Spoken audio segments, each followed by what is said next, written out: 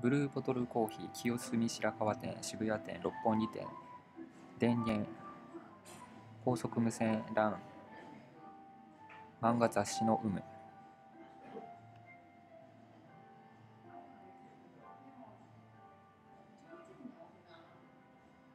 スターバックス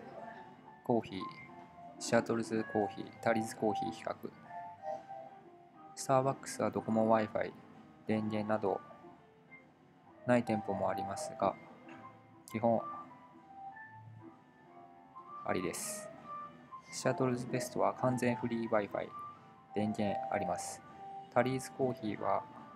電源はある店舗もあります。ネットもつながります。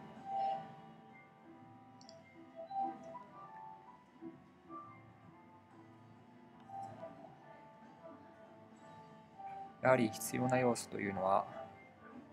一つは快適性静かで混んでいないということです。ある程度混んでいないと店は維持できないでしょうからその辺をあの利益追求だけでなくて、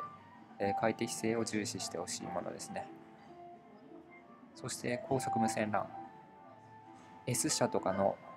Wi-Fi っていうのはすごく遅いので、えー、あまり使えません。よって高速な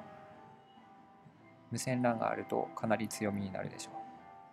特に東京など都心ではビジネスマンそれから動画の多様性などが増えてきていますので回線が遅いということでなればこの店にはもう二度と行かないというようなことになるかと思います。そして Wi-Fi が使えるのに電源を置いていないということになれば気が利かないということになるでしょう。そして雑誌の有無です。やはり情報に敏感な方々が多いのでこういった専門的な雑誌などを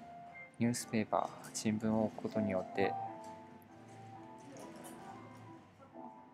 えー、資本力があるのであれば一気に差別化できるのでこういったことがあればかなりの武器になると思います。以上